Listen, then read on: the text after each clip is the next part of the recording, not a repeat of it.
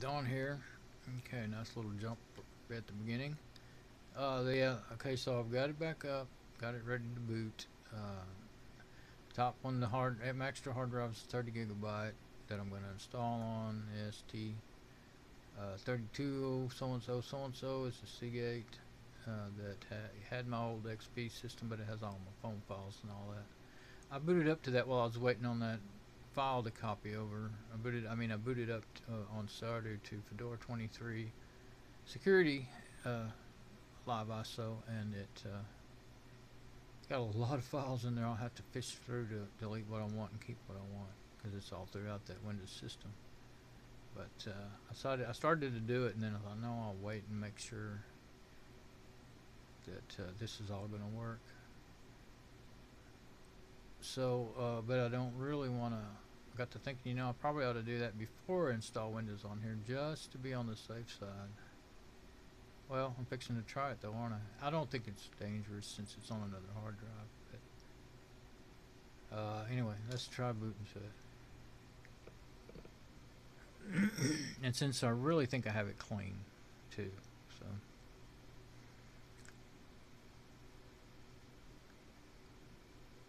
Okay.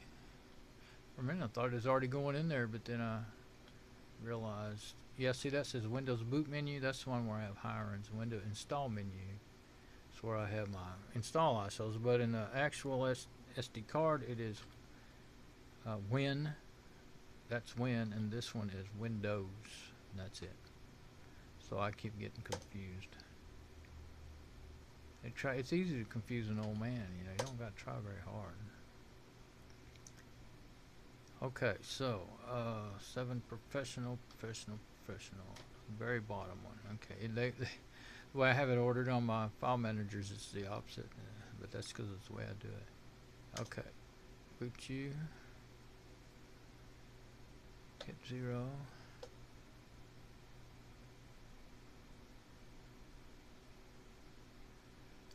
No way the not gonna work. Okay.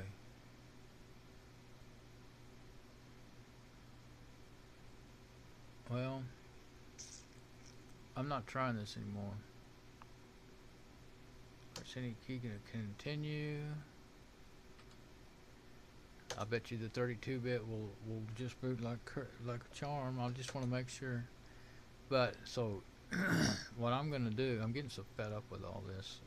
I'm just about ready to just install Fedora 24 and say forget it. But um, because I, yeah, I think I checked the other day, and my laptop will run 64-bit too, so I could put. Uh, oh wait, if you don't have a, I think you have to have the 64-bit license though. I gotta Wait a minute, I think it is 64-bit. I think that Windows, it's Windows, um, which one is Pro? One of them is Pro. Oh, I think the Pro is my Lenovo i5. And it's 64-bit. So I could, yeah, that's probably why I didn't had that. My, uh, that one got infected too. That's probably why I had that on there to start with. I could use that one to do that with yeah, that could work out because if I end up sooner one day I'm gonna have to buy a bigger hard drive, like a really big one, and uh, or else I can't make any more videos. Okay, so it all looks good there, but uh, yeah, I could do it in there. My laptop, uh, well, if I bought that, I was thinking about buying a five terabyte Seagate hard drive. That's the only ones that really affordable. And the only problem I see people saying they have is their their USB hard drives. But what they really are is laptop hard drives in a USB case. And uh, they say they overheat, and that's when sometimes they'll fail even. And that scares me. But they, overall, they have like there's it's you know everything these days. There's no quality control, you know, and um, so you know they have like four stars or something like that on Amazon, and uh, you start reading on what goes wrong and you find out well sometimes they actually fail so uh, but people keep saying it's the heat I've taken mine out and put it you know just leaving it out or put it in the machine, uh, and then it uh, doesn't overheat and it works great. Of course, they've only used them maybe six months a year or something like that. But uh, and I've got hard drives from the 90s that still run great. They're just tiny, you know. But uh, anyway, I could put it in the Lenovo i5 because that's what it has in it. Uh, so it would fit right in there just fine, you know, right in this little slot. Of course, it doesn't matter. Uh, a laptop hard drive will go into pretty much any machine, just that the bigger hard drives won't go in the laptop. So then anyway, I could take that 250 gigabyte hard drive out of the Lenovo and put it in a laptop that I have that don't have a hard drive, or put it in my Dell 1525 laptop and take its smaller hard drive and put it in that other older laptop. Actually, they're about the same age, but the other one doesn't have, it's an Acer and it doesn't have a, it also has a broken screen, broken display screen. So anyway, going off talking about that. Uh, I'm gonna hit next just to see. I did what? It says required driver CD, the same old problem that I've been having. And I have my little USB helper stick in there. So why in the world and what's going on with all? And I guarantee you, maybe I didn't go this far and I never saw it. I don't know. I can't guarantee because I can't remember. I just don't remember things well enough. And what I've done over and over is put I put in my driver CD because you know I saw that. Okay, well I got a driver CD that came with this motherboard. Put it in there, it doesn't do a thing. So uh, maybe I'm gonna. I was. I was uh, my other option that I didn't get to was maybe I'll burn this uh, home premium 64-bit to a DVD and try to, you know, and just install it that way.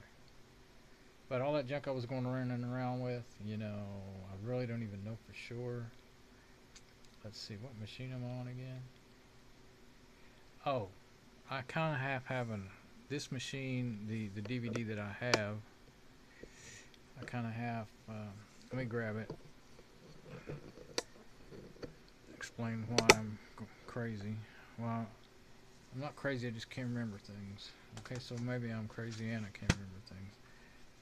So I'm trying to get it out with my other hand here. Oh, let me, uh, I'm gonna put this up on the, over here on the desk. Yeah, make it crazy.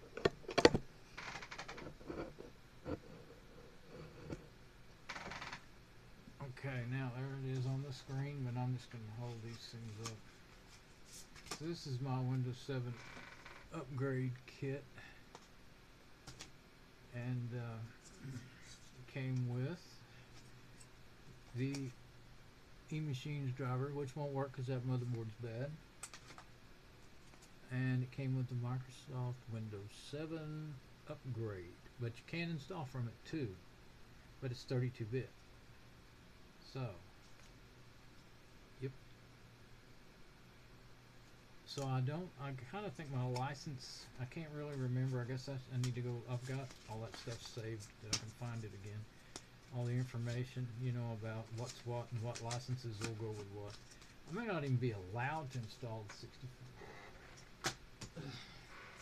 And I have my complete, that's pretty cool, complete book manual that came with my ASRock motherboard. And I won't take it out. It's no big deal. AS Rock driver DVD. I'm going to put it in there.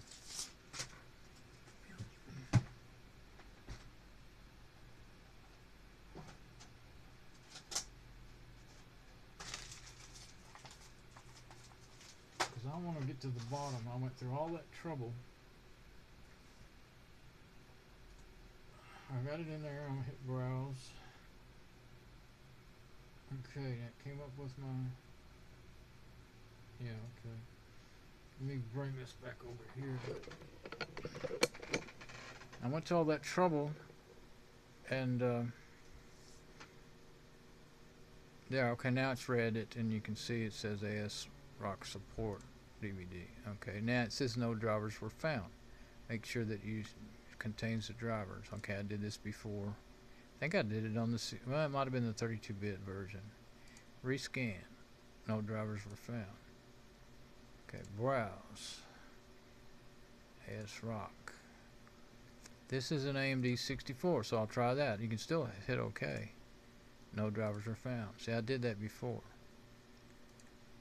So it doesn't matter. You should just be able to hit to the root drive and it'll find what you need. But okay, drivers. Let's try that. Nope, not found. Now I do remember a little thing that was quite odd. Um, that's the drivers folder. Usually you want to go to the root folder most of the time and it'll find you the right thing. Vista, Win 7, okay, try that. No device drivers were found. Usually you want to go to the root folder of your CD and it, and it has an INF file at the beginning that will find what you need for you. But I accident I wasn't thinking I left this in and rebooted the machine and it booted to this thing. I thought it wouldn't boot to it. I, I know I was thinking I just thought it won't there's nothing to boot on there. so it booted to it. And uh, I'm gonna get out of it. And it should just reboot.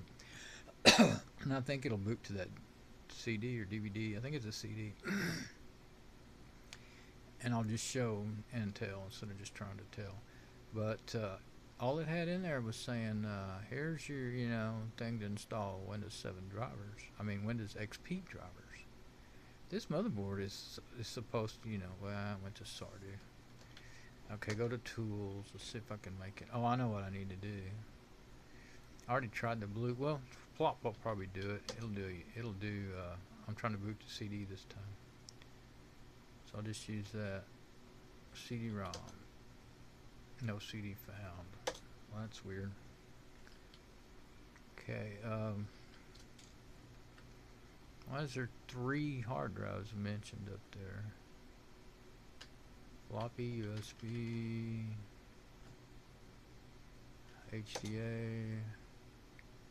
I just wanted to go to the CD, so I don't know why I keep doing that. Okay, Control Alt Delete. Now hit F11 and I can see the CD. I thought this would be quick and simple. I forgot I had that Sardu USB stick in there. I'm hitting F11 to try to get to the uh, boot menu. Here we go.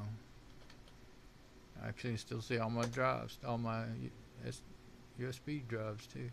Okay, there it is. Booting to FreeDOS. Now then. Select source. Generate RAID driver. XP 2000. Select source. Generate RAID driver for Windows XP, for Windows 2000, XP 64. Exit. Alright, now that made me think, what the heck is it? Only have XP drivers? Now I'm going, oh wait. This is just part of the boot menu, I think so 64 bit why not? Uh-oh. Generate RAID driver diskette I was trying to generate but I don't need a RAID driver anyway so maybe this is just another feature that I don't need. RAID uh, you know RAID disks that's like when you have several duplicate disks that you want to use for backup and stuff. Or anyway, I'm not going to go into all that because I don't. I know I know enough to kind of know what it does, but I couldn't explain it that well anyway. I've never messed with it. Just read about it. Yeah, destination. Yeah, that's going to erase my, my SD card. No, we don't want to do that. Reboot the system now. Press any key to continue. So what I'm going to do is hard shut it down, and I don't want to do any of that. Well, no, I'll just reboot, get it into the Sardu menu, and then I'll shut down from there. So, I don't know, I guess I could fish around, fish around there, but I, I, I can't see it not having the Windows 7 drivers on there. But on top of all that, when I got to reading on the Easy2Boot website, it said that error about the missing drivers was actually just something about how this Easy2Boot does, you know, needs to needs to be set up to work, and that's when I made the helper stick and all that stuff, USB stick, and so it's still doing the same thing after I did all that. I don't want to fool with it anymore. I don't even care if it works now. Uh, it will boot to. I'm just going to show it right quick. I think. Keyboard's hitting my microphone. Okay, so let the hard shut down. Well, I guess I didn't have to. I keep forgetting that you can pull those out, and it's actually the best thing to do. Now it won't recognize my. I'm sure it won't recognize my. Uh, it keeps hitting my mic right there, my keyboard. It won't recognize my. Um,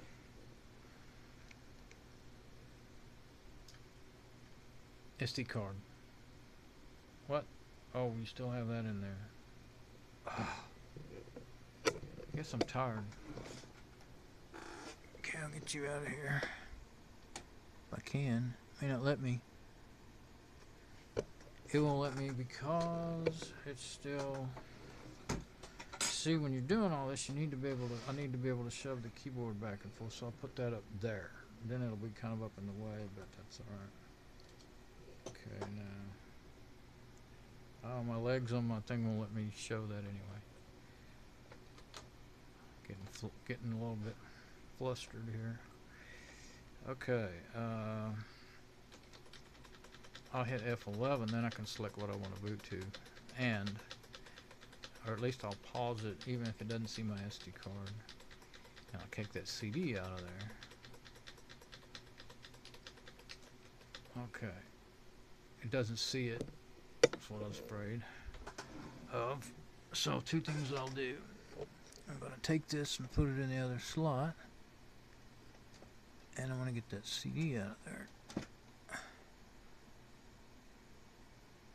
Sometimes it can be very contrary. There. Okay. Now, hopefully a nice little reboot and we'll be seeing my SD card again. Sometimes it still doesn't do it. We'll see.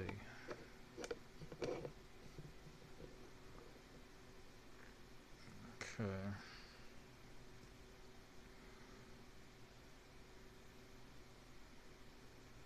Now since there's only, let me see. Either way it won't matter. I could have hit F11 but Okay, it worked. You boot into it. Yeah, that way if it doesn't work, if it works, then you're good. If it doesn't work, then you, you can, in this, right now the way this machine is, you can stop it. Uh, on the, trying to repair the Windows boot and then, uh, okay, what I'm going to do, I'm going to go to Fedora, not Live Security, but Fedora 24, the newest Fedora. Oh, here's that uh, prompt that I was expecting to see. And it'll go on by. I guess it does it on the Linux ISOs now. Okay. Boot to Fedora 24. And um,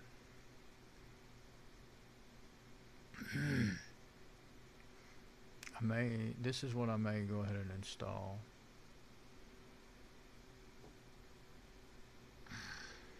Mm, this will take a good while.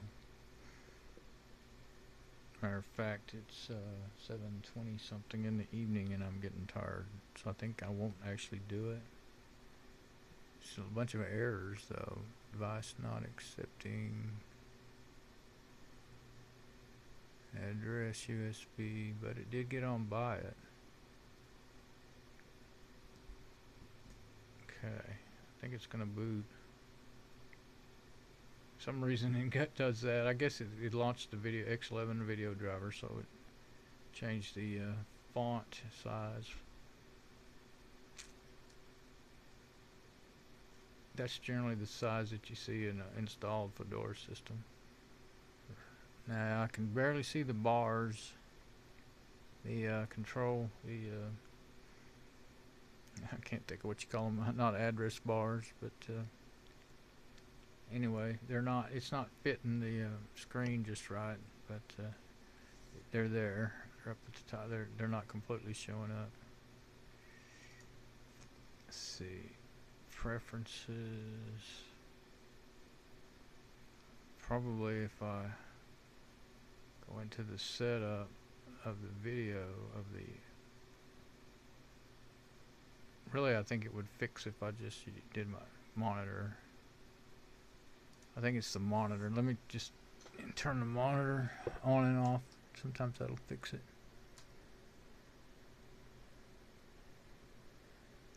Didn't that time. It could be the resolution. Might be set on the wrong resolution. Control, let's see. Displays, there it is. I was, I was in there to start with. 1920 by 1080. That's right.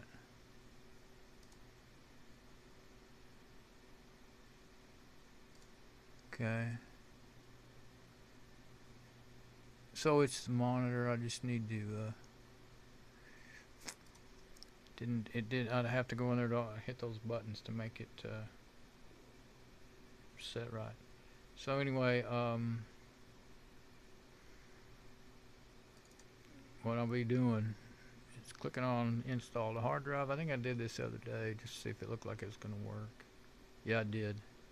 I don't know if I did it in Fedora 24. Yeah, I think I did. But uh, I think it will work from this, you know, Easy2Boot. If not, I'll have to put this on. I'll have to just wipe the whole SD card and put it because my little my little uh, sticks aren't big enough. They they don't hold. This is bigger than two gig. It's two and a half, three and a half, something. I believe anyway, uh, I think it would work. I know for sure till you get all the way down through the middle of it and find that it doesn't work, but everything looks good. So uh, pick your hard drive, which would be this one. I'll have to do a custom. I can hit uh, automatic, but uh, it won't um, automatic configure partitioning but I know from experience with Fedora it'll make too big of a root partition and with only 28 gig what I really need to do is just make it two partitions one the boot partition and two just the system and root home and root partition all the same and Debian has got an option like that but in here in Fedora you have to say I will configure and it kind of helps you along but didn't really. Can I go back? No, that wasn't the way I wanted to do it. Anyway, I'll probably say automatically and then then and then alter it. I think is what I've been doing. I hit done. Leave it on automatic and hit done. But uh, I've installed them before and thinking, oh, it'll figure it out, but it. Uh, I had like ended up with five gigabytes left from my home partition and wasn't even usable. So, and I see it says it's done, but and I want always want to change the host name because if I leave it to local host, then it'll conflict anytime you boot a, a live system. So I always give my systems a host name. But uh, I guess now if I had, I will do it. It might. Oh, let's add disk. That's what's going on there. I'm hitting the wrong thing.